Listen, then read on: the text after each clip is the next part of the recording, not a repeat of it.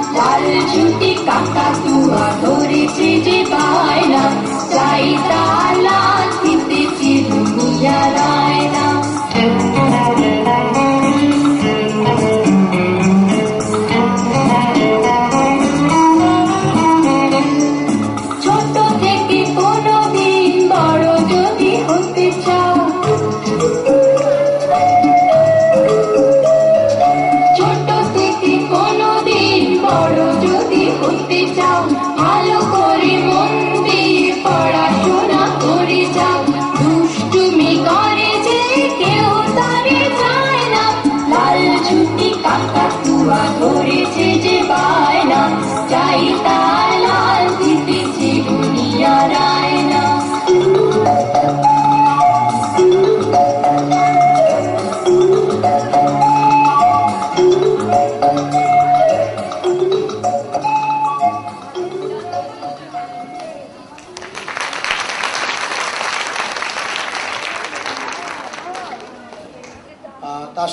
একটি কথা না বললে চলে না। আহ, পৌলমী বসু মল্লিক হচ্ছেন মানে খুবই সুন্দর উনি আবৃত্তি করেন এবং উনি স্বনামধন্য বিভিন্ন অর্গানাইজেশনের সঙ্গে যুক্ত। তা তাকে আমরা অনুরোধ করেছি জাস্ট একটা ছোট্ট একটা আবৃত্তি করে শোনাবার জন্যে।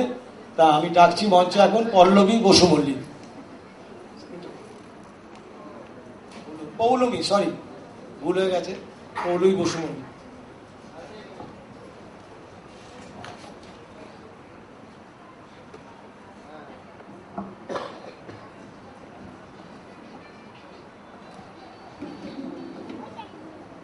কবিগুরুর কাব্যের অনেকখানি জায়গা জুড়ে রয়েছে নারী।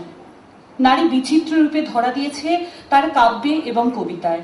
এই নারী কখনো হয়ে উঠেছে লাস্যময়ী, কখনো বীরাঙ্গনা, কখনো বা অসামান্য সৌন্দর্য স্বরূপা। কৃষ্ণাঙ্গী সাঁওতাল মেয়েও উপেক্ষিত নয় কবির কবিতায়। তাই তো কালো মেয়ের কালো হরিণ চোখ কবিকে প্রেমময় করে তুলেছে। ছোটবেলা থেকে সহজ পাঠ থেকে কবির সঙ্গে ভালোবাসা শুরু। আমার মনে হয় এটা প্রত্যেকটা মানুষের। এবং আমার ক্ষেত্রে রবীন্দ্রনাথ ঠাকুর হচ্ছে আমার প্রথম প্রেমী। আজও যখন আমি ওনার কথা ভাবি, আমার অ্যাটলিস্ট আমি প্রত্যেক বছর একটা করে কবিতা লিখি এবং আমার খুব ভালো লাগবে আপনারা যদি শোনেন। আমি নাম দিয়েছি রবীন্দ্র কাব্যের নারী। আমি এক সাধারণ মেয়ে। তোমারই চেতনার রঙে আমি কখনো কৃষ্ণ কৃষ্ণকলি কখনো চিত্রা, কখনো মানসী, কখনো নিরুপমা। আবার কখনো দেবযানী রূপে এঁকেছ আমায়। পরম প্রিয়কে অভিশাপ দিতে কাঁপেনি যার কণ্ঠ। যে বিদ্যার তরে করে করবণে অবহেলা, সে বিদ্যা তোমার সম্পূর্ণ হবে না বশ। সেই দেবযানী নিরুপমা হয়ে তোমায় করেছে তোমা কালো বলে কভু অবহেলা করনি আমায়। আলের ধারে দাঁড়িয়ে একা আমায় দেখেছিলে। সে কথা শুধু আমিই জানি, আর জানতে তুমি। কখনো বীর্যবতী চিত্রাঙ্গদাকে তোমার লেগেছে ভালো। আবার সেই আমি, বৃন্তহীন পুষ্প সম আপনাতে আপনি বিকশী হয়েছে উর্বশী। মাতা নই, কন্যা নই নই বধূ, আমি সুন্দরী উর্বশী নন্দনবাসিনী, শুধুই উর্বশী। অনন্ত যৌবনা মিষ্টির বোধরা উর্বশী তোমার কাব্যে বহুরূপা নারী আমি, বিচিত্র রূপিণী। কিন্তু রবি ঠাকুর, আসল কথাটি বলো তো আমায়। কোন রূপে তুমি আমায় বেসেছ ভালো, প্রকৃত বেসেছ ভালো? আমি জানি সেই গোপন কথা। সেই কথাগুলো লেখা হয়ে গেছে, তোমার লেখনি করেছে শিকার। সহজ হেসে, সহজ বেশে নিরাভরণ দেহে তোমার কাছে হয়েছি আমি প্রিয়া। মুক্ত বেনি এলিয়ে দিয়ে কাজলবিহীন চোখে আমি হয়েছি চিরায়মানা। নমস্কার।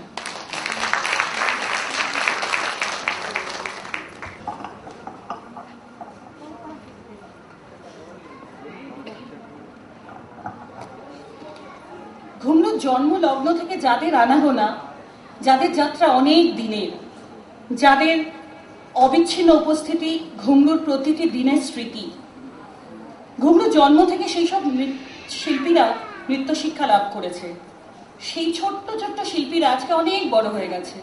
কাজের সূত্রে অনেক জায়গায় তাদের আনাগোনা, অনেক ভারতবর্ষের বিভিন্ন প্রান্তে তারা প্রতিষ্ঠিত। কিন্তু ঘুমরুর বাৎসরিক অনুষ্ঠানকে উপেক্ষা করে এই ক্ষমতা বোধহয় তাদেরও নেই। সেই জন্য তারা অধীর আগ্রহে অধীর টানে চলে এসেছে আমাদের মধ্যে। তাদের মধ্যে আমরা পেয়ে গেছি সুচিস্মিতাকে। আমরা মঞ্চে ডেকে নেব সুচিস্মিতাকে।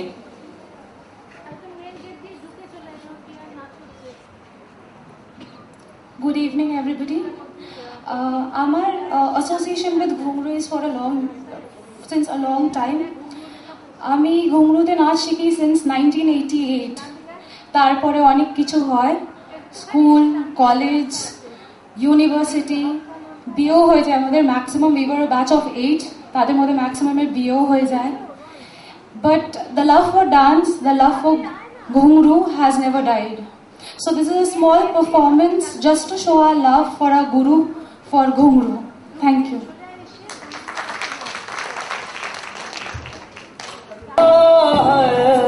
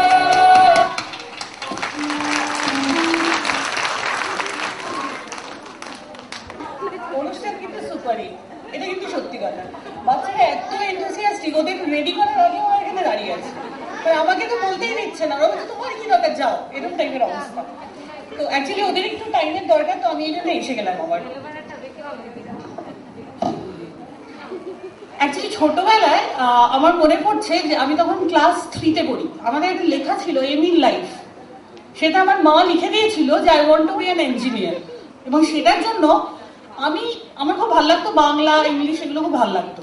কিন্তু অ্যাটলিস্ট বাংলা, ইংলিশ আমি প্রচুর নাম্বার পাওয়া সত্ত্বেও কোনোদিন পাইনি। মানে পড়ার সুযোগ পাইনি। কারণ মা বলে দিয়েছিল যে, ওটা আমার হতে হবে। এবং আমি হয়ে গেছি। আমি আজকে এমটেক আমি ইঞ্জিনিয়ার কিন্তু আমার কিন্তু ওইটা অনেক বেশি ভালো লাগতো। তো সেই আমার মনে হয় যে আমরা যা শিখছি, সেটা কি সত্যি ভালোবেসে শিখছি? সেটার উপরেই আমার সেই আবার ঘুরে ফিরে রবীন্দ্রনাথ। আমার কবিতা জন্মান্তরে রবীন্দ্রনাথ।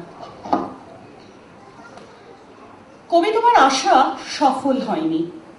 তোমার শান্তিনিকেতনে শিক্ষা ব্যবস্থা, সীমাবদ্ধ রয়েছে তোমারই শান্তিনিকেতনে, সেই রাঙা মাটির দেশে। কবি, তোমার স্বপ্ন রূপায়িত হয়নি।